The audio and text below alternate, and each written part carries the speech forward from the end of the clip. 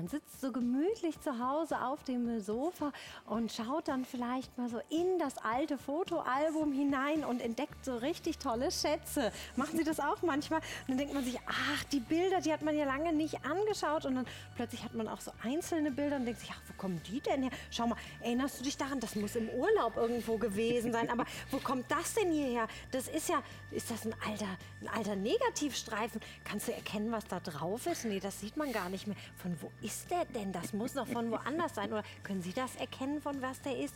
Da haben wir die Bilder überhaupt irgendwie mal belichten lassen oder so. Und hier, was habe ich hier denn noch gefunden? Das sind, glaube ich, Dias. Haben Sie die auch noch zu Hause? Was macht man denn jetzt damit? Man muss doch das erhalten. Das sind doch bestimmt tolle Bilder noch von uns, von früher, oder? Ja, und das ist eine, etwas, was die Generation von heute gar nicht mehr kennt. Also ich glaube, wenn du so nie Negativstreifen oder ein Dia, na jetzt 18, 20-Jährigen vor die Nase hältst, hat die keine Ahnung mehr, was das ist. Wir wissen das noch. Das ist unsere Erinnerung. Es ist in weiten Teilen unser Leben. Und ich äh, merke das auch immer wieder ganz, ganz eindrucksvoll, wenn ich zum Beispiel mein, ich darf es dir mal Ja, führen, klar. mein privates Fotoalbum äh, durchblättere. Dann sehe ich Bilder von Personen, die leider schon Jahrzehnte nicht mehr da sind. Und das hier ist zum Beispiel das Hochzeitsalbum. Äh. Also es fängt bei der Hochzeit meiner Eltern an. Und äh, hier siehst du, also äh, schauen wir mal, hier als Brautpaar. Ja? Da gehen wir ein bisschen weiter rechts, da sehen wir es. Hier, meine Mutter, mein Vater, wenn wir da einen Gesichts Gesichtsausdruck nachher schauen, ich mache das nachher mal ein bisschen größer, äh, äh, dann werden wir sehen, das war wahrscheinlich schon sehr früh am Morgen. Aber wenn wir mal auf die andere Oh, sehr Seite schön. schwenken, sehen wir hier zum Beispiel meine beiden, auch da weiß ich nicht, da habe ich überhaupt keine Ahnung, wer das ist, aber hier, das sind meine beiden Urgroßväter. Mein Urgroßvater, Vater, väterlicherseits und mütterlicherseits und die Oh, auf einem Foto zu schön. sehen. Man muss sich das jetzt mal vorstellen. Die beiden sind, ich schätze das jetzt mal, so 1870, 1875 geboren geboren. Ja? Boah, wie lang das schon her ist. Also ne? das sind Personen, die habe ich noch als ganz, ganz kleines äh, Kerlchen äh, schemenhaft in Erinnerung und dann sind sie natürlich leider irgendwann mal verstorben. Aber jetzt, jetzt finde ich ganz interessant, dass es zurzeit immer mehr Ahnenforscher gibt. Haben Sie das mal gesehen? Fernsehwerbung, wir forschen ihren Stammbaum. Mhm. Und jetzt habe ich mir gedacht, sag mal, wenn ich jetzt das hier irgendwie konservieren kann, meine Enkelin jetzt, Mhm. Ja. für die ist mein Urgroßvater schon die sechste Generation. Das ist etwas, was unvorstellbar ist. Aber jetzt, wie konserviere ich solche Bilder? Und zwar in ein zeitgemäßes Format. Und da kommt unser Produkt natürlich genau richtig. Dieser Foto-Dia-Negativ-Scanner, Ja. der jetzt wirklich Fotos, aber auch Dias und Negative, wie du sie gerade gezeigt hast, digitalisiert. Und das ist unglaublich einfach. Der ist auch akkubetrieben. Und den schalte ich jetzt einfach mal an. Sie sehen hier vorne am Knopf. Und äh, äh, man kann hier also überhaupt nichts falsch machen. Das Erste, was er mir jetzt anzeigt, ist, ich soll bitte eine Speicherkarte einlegen. Also das ist das Speichermodul. Eine zwei, bis zu 32 Gigabyte große SD-Karte. Und ich mache das jetzt mal einfach auf der Rückseite. Kleinen Moment, da ist der Schacht. Einfach eingelegt. So, und jetzt sehen wir schon, jetzt kann ich beginnen, Fotos, Dias oder Negative zu digitalisieren. Und jetzt, wenn ich den mal hochhalte, sehen wir unten eine kleine Schablone. Da kannst du jetzt lose Fotos reinlegen, einfach scannen, äh, praktisch hier mit einem Knopfdruck. Was du da reinlegst, ist ganz egal. Das hier dann drüber gehen. Und das hier äh, ist wichtig, dieses Gehäuse, weil, wir schauen mal auf die Unterseite, eine perfekte Ausleuchtung. Etwas, was ich sonst bei Fotos nicht hinbekomme. Vielleicht hat der eine oder andere, ich habe es nämlich selber schon probiert, das versucht abzufotografieren mit dem Handy. Es funktioniert nicht. Ja? Ja. Es ist einfach eine bescheidene Qualität. Oder ich möchte jetzt aus solchen alten Familienstücke, aus so einem Fotoalbum, äh, möchte ich äh, auch Bilder digitalisieren. Ich Wenn- kann das direkt aus meinem Album, was ich habe, heraus Das- digitalisieren. Das ist hier eben der Riesenvorteil. Bis jetzt musstest du, wenn du digitalisieren wolltest, ein, äh, ein äh, Foto aus einem Album entfernen, also rausreißen. Die waren ja meistens geklebt, das Ja. heißt Album kaputt, Bild kaputt, aber die Ja. Vorderseite noch sichtbar. Dann in so eine Schablone legen und jetzt hier digitalisieren. Musst du nicht mehr, sondern du kannst es jetzt ganz einfach im Fotoalbum äh, digitalisieren. das ist ja genial. Jetzt schauen wir uns dieses Foto mal an. Das ist hochkant, das, was ich Ihnen gerade gezeigt habe hier. Und das werde ich jetzt mal ganz äh, einfach seitlich, weil es hochkant ist. Ich kann das nachher auch im Rechner noch mal drehen. Und jetzt gehe ich einfach mit meiner Box drüber und schaue nach der Richtung. So, und jetzt ist es eingestellt. Ich, äh, ich hoffe, Sie sehen es. Ich muss es, glaube ein bisschen schräger halten. So wird es, glaube ich, deutlicher. Und man jetzt sieht's gut, äh, ja. kann ich natürlich auch die Größe noch verändern, wenn es nicht ganz stimmt. Moment, ich muss den Rand ein bisschen hoch machen. Hier, jetzt äh, gerade eben war es optimal. So sehen wir, wäre es zu klein. Ja, aber das ist ganz einfach. Einfach mal eine Einstellung bei jedem Bild machen. Ich tippe jetzt einfach mal durch die ganzen Einstellungen, bis es wieder optimal ist. Das müsste es sein. Probieren wir noch mal einmal. Nein, ist es das perfekt. ist es. Das ist jetzt perfekt. So, und jetzt digitalisiere ich das mit einem Knopfdruck. Jetzt sehen wir diese kleine, ja, du hast es gesehen, jetzt ist es gespeichert auf der Karte. Das heißt, gesichert für die Ewigkeit. Oder meine beiden Urgroßväter, ja, da gehe ich jetzt mal hin und äh, gehe auch wieder drauf. Wir sehen, ich möchte den, Rand, den Rand nicht digitalisieren. Ich könnte das natürlich später auch auf dem Foto, äh, auf dem Rechner noch bearbeiten, wenn ich das möchte. Muss ich aber nicht, wie besser ich hier arbeite. Obwohl von Arbeit kann ja nicht die Rede sein. So, und auch das digitalisiere ich jetzt. So, wir sehen, wie einfach das ist. Das Fotoalbum ist noch total intakt. Und jetzt muss ich hier noch ein Wort zu dem Fotoalbum äh, verlieren. Das ist ja kein, eigentlich kein Fotoalbum mehr. Das ist ein Zeitdokument Ja. meiner Geschichte bzw. der Geschichte meiner Eltern. Weil viele Fotos wurden hier ja auf, äh, aufgenommen. Da gab es mich äh, äh, schon lange nicht mehr. Jetzt gehen wir mal zum nächsten. Also Fotoalbum dürfte jedem klar sein, wie schnell das geht. Mit einer Akkuladung bitte übrigens bis zu 700 Scans. Also da kann ich einige Alben hier digitalisieren. Jetzt gehen wir aber mal auf das nächste. Das, was du angesprochen hast, Dias oder, äh, oder Negative. Jetzt mache ich hier das mal drunter. Ja, wir sehen jetzt das Foto, aber ich will ja jetzt nicht für Fotos. Das heißt, ich muss umstellen auf Film. Einmal hier Film und einmal hier unten Film. Jetzt sehen wir im ersten Moment natürlich noch nichts. So, jetzt können wir Dias nehmen oder Negative. Da haben wir diese Schlitten dabei und die, da lege ich das ein. Das ist unglaublich einfach. Bei Negativen haben wir ja immer diese Führungslöcher. Und jetzt nehme ich mal so ein Negativ und schiebe es hier rein. Und jetzt können wir schauen, sobald das erste Negativ da ist, Jetzt können wir schauen, wie ist die Bildqualität. Und ich muss es noch mal schräg machen. Jetzt kann Da sehe ich auch gleich, was auf dem Negativ drauf ist. Das ist ja toll. Richtig, du siehst es als positiv und genau so wird es auch digitalisiert. Es könnte jetzt sein, dass die Einstellung, Farbe oder Kontraste noch nicht stimmen, dann drücke ich einfach hier oben. Schauen Sie mal. So, jetzt drücken wir weiter. Jetzt ist es plötzlich das Positiv, ja? Obwohl es gerade eben schon deutlich zu erkennen war, aber wir gehen trotzdem noch mal weiter. Hier hast du das in schwarz-weiß, ja? Und du siehst so einfach hier noch ein bisschen vergrößert. So lange drücken, bis eben die Ansicht stimmt. Und das macht man eben einmal. Hier sind wir wieder bei dem äh, Negativ, jetzt beim Positiv. So, und jetzt möchte ich das auch digitalisieren. Mache ich. So, jetzt ist dieses eine Negativ auch, äh, äh, äh, jetzt ist es digitalisiert. Und du hast vorhin am Eingang was gesagt, Negative, man weiß gar nicht, hat man die damals entwickeln lassen? Das ist eigentlich äh, gar nicht äh, äh, die Frage. Weil die Bilder, die man entwickelt hat, die besten, die fehlen in diesen Fototaschen. Die sind nur noch als negativ, weil die irgendjemand genommen hat. So, dir hast natürlich genau das Gleiche, aber bevor uns jetzt die Zeit wegrennt, schauen wir uns das ganz kurz noch mal an. Ich schalte jetzt aus, weil dann wird alles gespeichert. Gebe dir die SD-Karte und du kannst die jetzt mal bitte öffnen am Rechner, einfach einschieben. Also heutzutage die Laptops oder Desktop-Rechner, Kartenlesegerät, SD-Karte rein und das einfach abspeichern. Und dann können Sie sich das natürlich direkt am Rechner anschauen. Das ist so ein tolles Gerät, das wir hier haben. Zum kleinen Preis. Also wirklich sehr, sehr toll gemacht, das Ganze. Hier für 142,41 Euro. Richtig genial, das Wunderste Ganze. Hier, genau. Super genial. das drittletzte Bild auf. Das, Das müsste jetzt das Hochzeitsbild sein. das schauen das wir uns natürlich direkt hier mal Also, an. Super genial. Die Bestellnummer nenne ich Ihnen noch einmal hier für unseren tollen Scanner, den wir hier haben, weil das ist natürlich eine geniale Sache. Die NX 6103 und die 569, sodass wir das hier wirklich direkt einmal dann, äh, dass Sie das direkt einmal bestellen können. Äh, wir haben aber noch ein weiteres Gerät, das wir uns natürlich auch anschauen. Das steht hier vorne und da dreht sich dann alles um Super 8 und 8 mm Film. Das ist natürlich noch etwas, das noch vor der äh, Zeit äh, quasi ähm, war, als man ähm, quasi Bewegtbild dann dementsprechend war.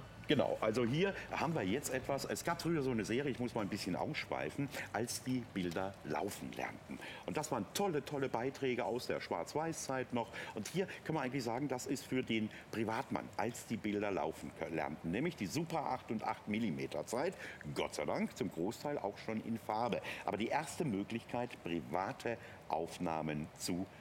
Also das, was heute richtig selbstverständlich ist, äh, hier nämlich äh, ja, Videos zu machen, egal wo.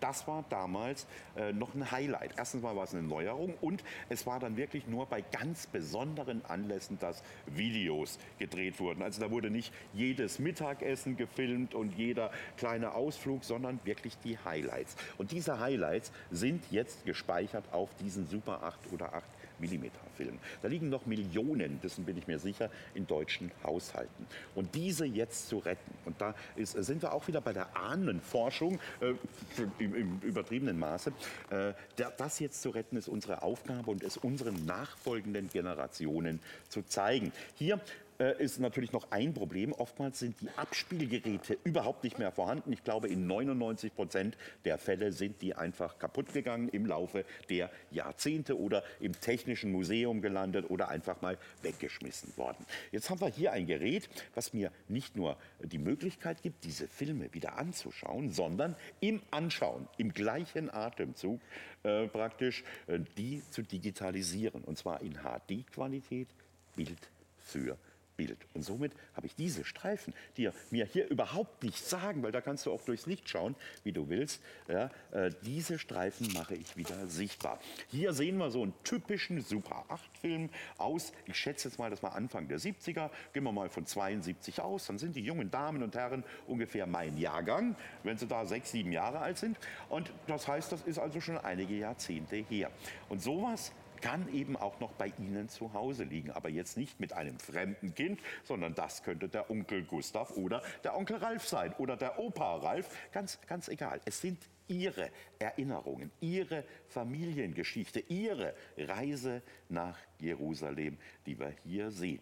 Und jetzt denkt man immer, und das habe ich früher auch gedacht, Digitalisieren ist etwas für Fachleute. Muss man Informatik studiert haben oder ähnliches. Und das ist unglaublich aufwendig. Nein, ich mache es jetzt nicht mal selber. Ich zeige es dir sogar blind. Du drückst jetzt bitte, der Film ist eingelegt, ja. das ist äh, nicht anders, auf den rechten Knopf. Einmal draufdrücken. So, nur ganz kurz draufdrücken. Genau, jetzt geht er an. Wir lassen ihm einfach eine Sekunde Zeit. Jetzt zeigt er mir schon mal das Bild an. So, und jetzt gehst du auf die andere Seite, drückst einmal auf den linken Knopf. Übrigens Speicherkarte natürlich eingelegt. Jetzt gehst du mit der Pfeiltaste eins nach unten. Da ist eine Pfeiltaste. Einmal draufdrücken. Okay, jetzt stimmt die Spulengröße. Und jetzt drückst du nochmal auf OK. So, und jetzt bitte Finger weg. Da steht da, bitte den Film nicht mehr bewegen. Das war's schon. Das war's. So, und jetzt wird mein, äh, meine Erinnerung hier Bild für Bild digitalisiert. Übrigens, für alle, die diesen Scanner schon begeistert zu Hause haben, kurzer Hinweis, es gibt hier ein Upgrade. Und zwar ein ganz wichtiges Upgrade, wie ich finde, das übrigens bei der neuen Lieferung, die am 15.03. kommt, mit dabei sein wird. Es sind jetzt, also früher waren es 30 Bilder, die hier digitalisiert werden pro Sekunde. Der Originalfilm hatte 18 Bilder. Das heißt, wenn du es digitalisiert hattest, musstest du erst die Geschwindigkeit anpassen. Das Upgrade macht es möglich, dass hier schon automatisch automatisch auf 20 Bilder pro Sekunde reduziert wurde, also Originalzeit. Das ist nochmal etwas Herausragendes. Aber wie einfach das auch ist, sehen wir hier nochmal. Und du hast auch zwei Kundenbeiträge, weil wir werden natürlich hier von wirklich vielen E-Mails überhäuft. Da freuen wir uns sehr drüber. Aber zwei haben wir mal rausgesucht. Mhm. Lies die doch mal bitte vor. Das ist sehr schön immer, wenn Sie uns schreiben. Und wir haben wirklich, äh, wie Ralf schon gesagt hat, viele so begeisterte Kunden und es freut uns immer. Äh, unter anderem hat uns Friedrich geschrieben, äh, liebe Grüße an der Stelle nach Haus Hamm. Er hat geschrieben, eine relativ einfache für mich als Laie Variante, die jahrzehntealten Schätze der Schmalfilmkultur ins 21. Jahrhundert zu retten. Macht richtig Spaß, die vergessenen, zum Teil über 40 Jahre alten Erinnerungen jetzt auf PC oder äh, Flachbild-TV zu sehen. Und das ist genau das, ne? Das ist genau das, worüber wir auch gesprochen haben. Das sind ja wirklich ähm, Erinnerungen, die man da hat. Das sind private Schätze, die man da hat, seine eigenen, die familiären Schätze dann auch, die man wiederentdeckt plötzlich, Richtig. die man endlich auch wieder anschauen kann. Du hast gesagt, es gibt ja zum Teil gar keine Projektoren mehr, man mhm. hat keine Abspielgeräte mehr zu Hause und plötzlich kann man diesen bewegten Film wieder sehen, zu Hause auf dem äh, tollen Fernseher, kann das dann auch der Familie mal zeigen und man entdeckt wirklich auch so viel mhm. plötzlich. Ne?